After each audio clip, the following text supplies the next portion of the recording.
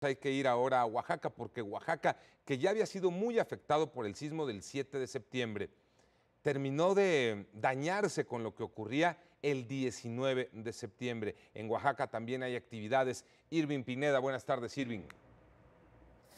Así es, Crisales, seguimos aquí en Juchitán, Oaxaca, a un año del sismo del 19. Las historias y las heridas todavía no sanan, y es que aquí todavía volver a poner de pie a esta ciudad oaxaqueña, esta ciudad del Istmo, todavía no se compone. Por ejemplo, estamos aquí en lo que era una discoteca, un café internet y una casa de empeño. Aquí no se ha podido reiniciar, eh, aquí no se ha podido elaborar para poner de pie a esto. También el Palacio Municipal continúa pues con las labores, algunos albañiles albañiles están laborando y el mercado, el mercado permanece parcialmente cerrado, si no es que toda la gente está laborando afuera de lo que era este mercado que cayó con los sismos del 7 y del 19.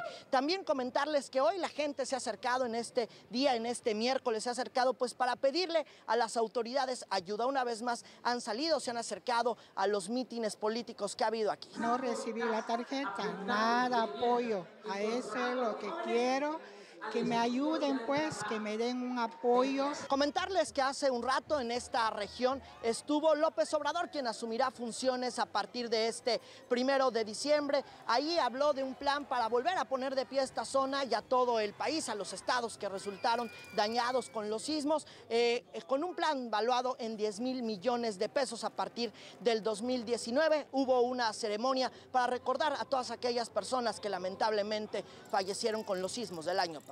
No solo a las víctimas de los sismos del istmo, sino de todo México.